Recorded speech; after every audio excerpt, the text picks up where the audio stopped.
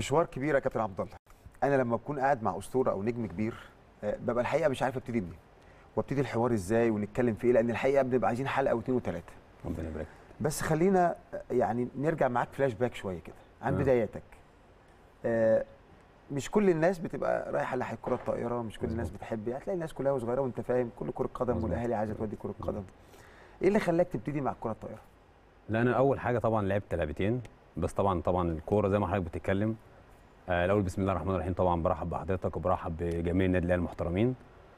آه طبعا أنا ابتديت في الأول آه، كرة قدم طبعا آه يعني كنت بلعب مع أصحابي في الشارع وبلعب في المدرسة. فطبعا أنت عارف حضرتك يعني كله بيبتدي في الكورة بال- بالشكل اللي أنا. بقول لحضرتك عليه دوت. مع أصحابنا. مظبوط. آه. فكنت الحمد لله بلعب بشكل كويس. فصحابي كلموني كتير قالوا لي جرب في اختبارات الأندية ابتديت فعلا أجرب. آه، رحت نادي المقاولين العرب. آه قلت أجرب في النادي الأهلي آه لعبت. برضو في كذا نادي تاني. مم.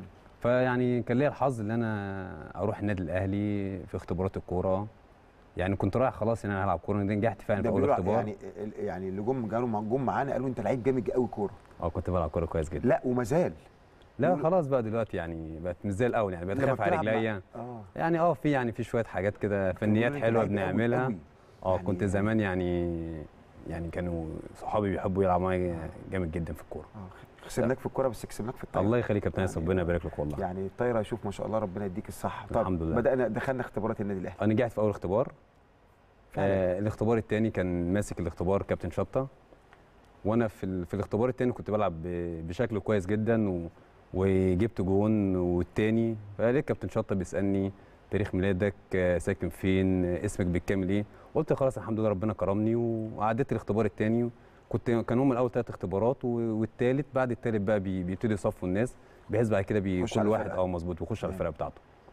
فوجئت بعد الاختبار الثاني كابتن شطة بعد ما قال لي كل الكلام دوت قلت خلاص يعني أروح الاختبار الثالث فخلصنا خلاص الاختبار واقف بره معاه. قال لي كده يا كابتن خلاص انت مش هتلعب كورة. فاستغربت طبعا ليه يا كابتن؟ ف يعني كان رحمة الله عليه كابتن أحمد رجب كان واقف بره قال لي في مدرب آه، كرة طايرة في النادي الأهلي هو شايف آه، جسمك وتقويمك البدني ده يسمح لل- للطايرة مش يسمح للكورة. فطبعا أنا زعلت وخدت على خاطري. كابتن أحمد طبعا آه، في اللحظة ديت قال لي ما تزعلش هي الرياضة كده ممكن يكون ربنا كاتب لك نصيب تلعب فوليو وتبقى لعيب كويس مش زي الكورة. قلت له طب خلاص ماشي يا كابتن الأخبار إيه؟ قال لي أنا كل يوم في النادي الأهلي الساعة 8 شوف يعني لو حابب تجرب تعال أهلا وسهلا كان بيك. الكلام ده سنة كام يا كابتن عبد الله؟ كان 93 يا خبر أبيض. آه ده شوف زمن. النصيب. زمن. يعني انت أنت بتحكي لي وأنا بقول إيه ده؟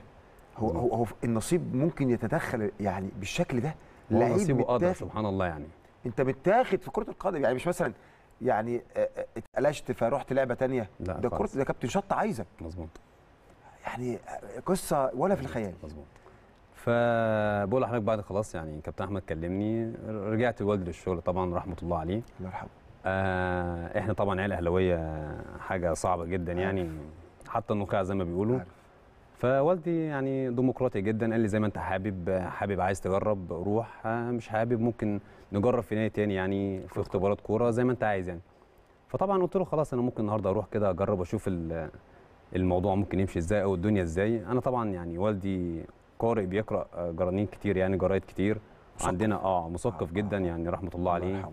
يعني بالثمان جرايد بيبقوا موجودين عندنا يوميا فطبعا أنا ب- بحكم هم موجودين كل يوم على طول عيني في الأخبار الرياضة في عامة فطبعا عندي في الفولي كنت أوعى الكابتن حمدي الصافي كابتن ماجد مصطفى كابتن محمد مسلحي طبعا كان بينزل لهم صور زمان بطولة أفريقية في الحتة الفلانية هيلعبوا مع كذا كان كذا سنك قد إيه ساعتها؟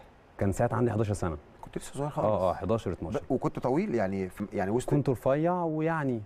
بس يعني أنا عندي خلاني طوال شوية لكن جسمي يعني آه يعني بالنسبة لسني أعتبر طويل. بس